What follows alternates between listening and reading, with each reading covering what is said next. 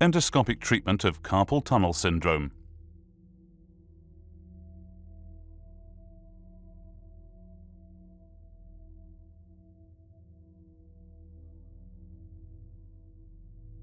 Your complaints about your hand are based on a so-called carpal tunnel syndrome. The cause is a compression of the median nerve under the carpal ligament with irritation and inflammation of the nerve. The result is pain and sensory disorders that are to be remedied by surgery. The endoscopic operation scheduled for you, which is also called minimally invasive or keyhole surgery, is generally performed under local or regional anesthesia, or even under general anesthesia in exceptional